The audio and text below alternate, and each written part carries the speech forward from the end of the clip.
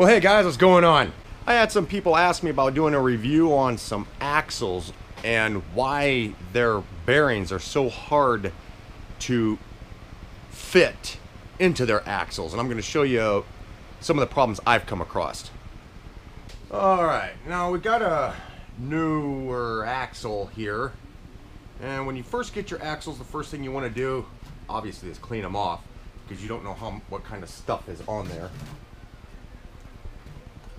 And I'm just using a simple rag and some lacquer thinner. You want to clean these off because sometimes there can be tape, other stuff that's on it. So I'm going to show you something here. All right, now I've got this bearing. The bearing won't go on it it's a little tight. And this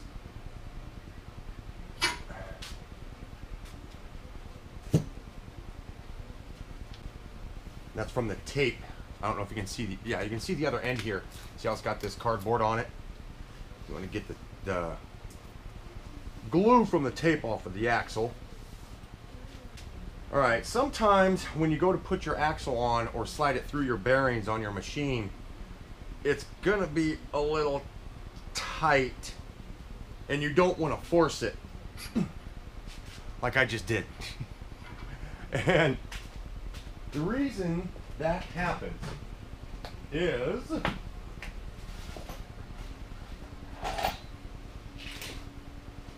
when the companies machine out this slot sometimes they this edge right here grab little oh, pointy thing. Sometimes this edge right here has a lip on it on both sides. So you got to take that off or else trying to put your bearings on they'll they'll lock up. So See, that's how that's all the further that bearing's going. Oh, right to there. So you want to get yourself a flat file. And ever so gently, you don't want to do this really hard, but you take off that lip that's on the axle. And you want to pull it towards the groove. So that way the filings go into the groove. You want to try to make it as even as you possibly can by hand. And it's best to use a file and not sandpaper.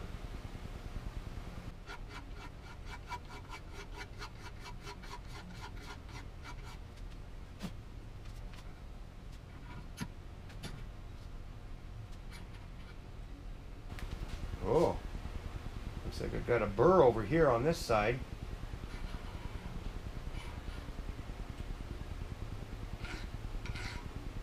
You want to do this real gently. You don't want to leave pits in your axle.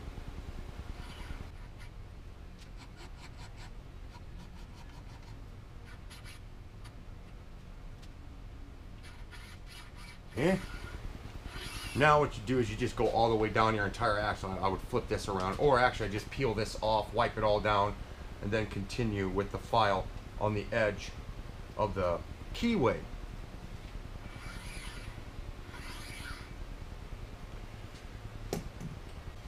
Sometimes after you put your sprocket or your your uh, brake hub on there, you'll have problems with trying to get your keyway in.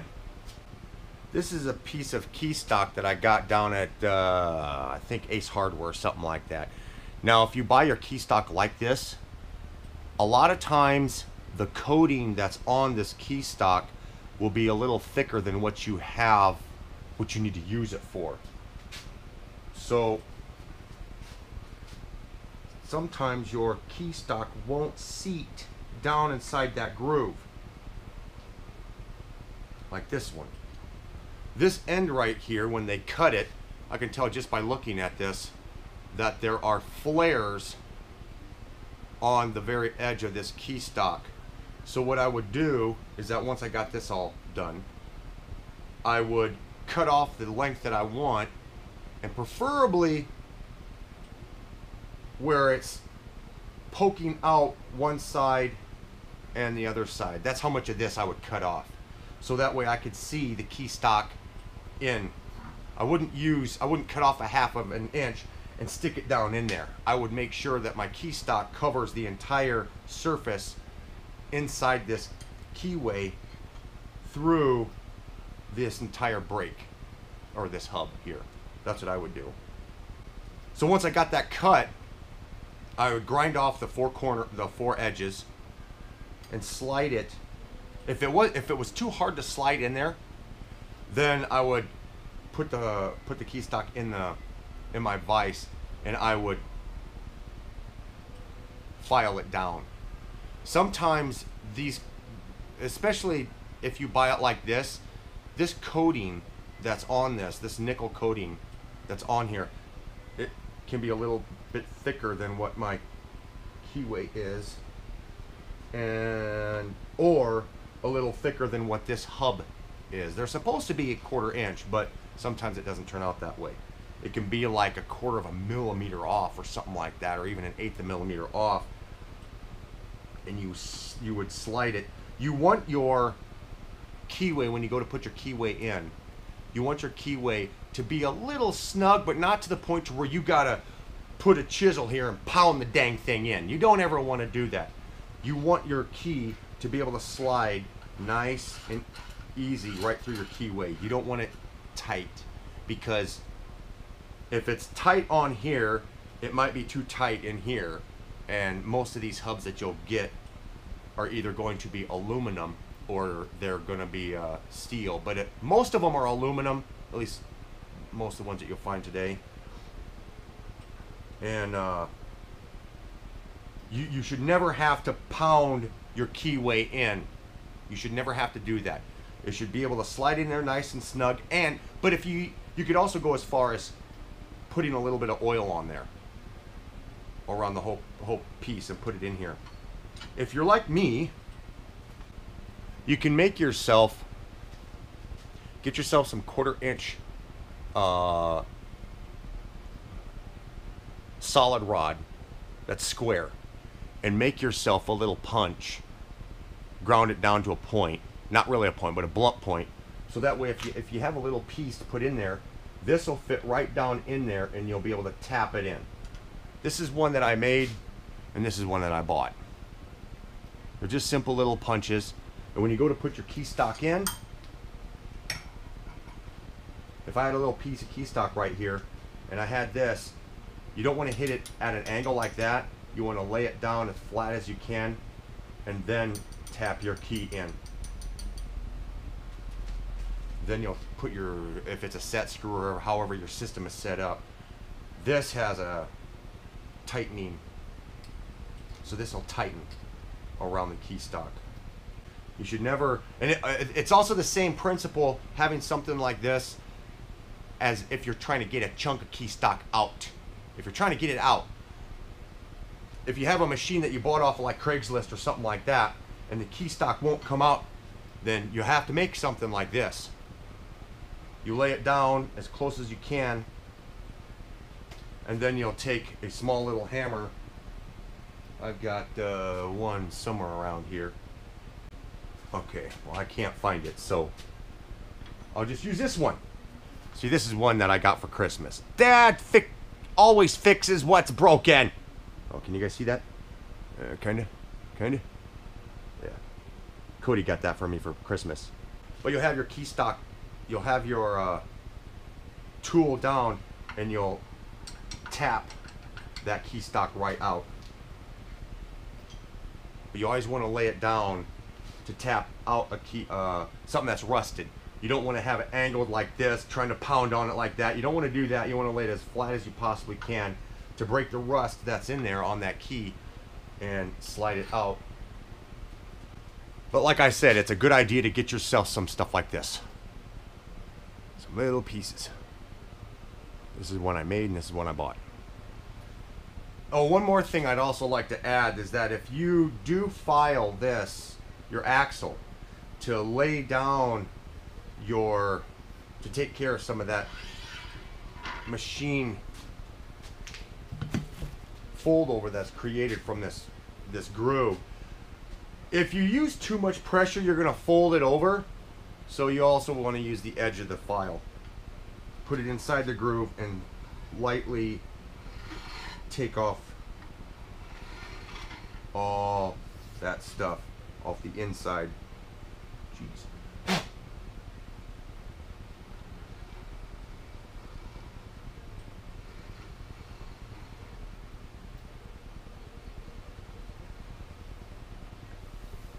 And some axles, depending upon where you get them at, you got to be careful about this because this stuff is sharp.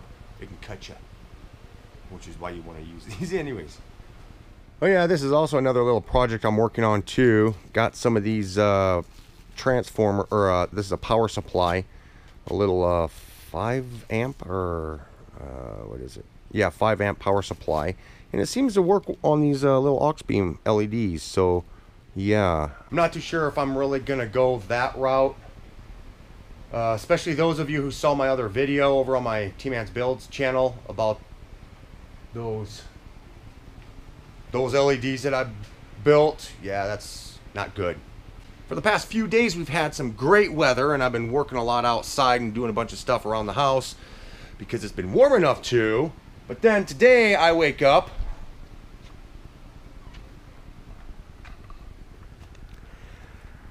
and we got a whole bunch more snow. And it's not stopping. I don't know if you guys can see the snow falling, but yeah, joy.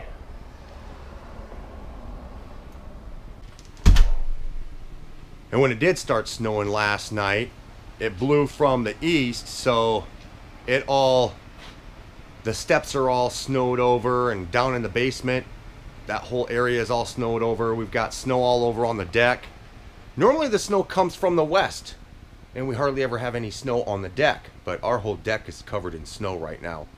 Had to scoop the deck so we could get out of the front door. You guys can see the computer that I have right here set up. I was going to do some uh, live streaming from the shop here, but the Wi-Fi doesn't work very well. If I leave the door open, it'll work kind of okay, but if I shut the door, yeah, this whole the whole shop acts like some big shell.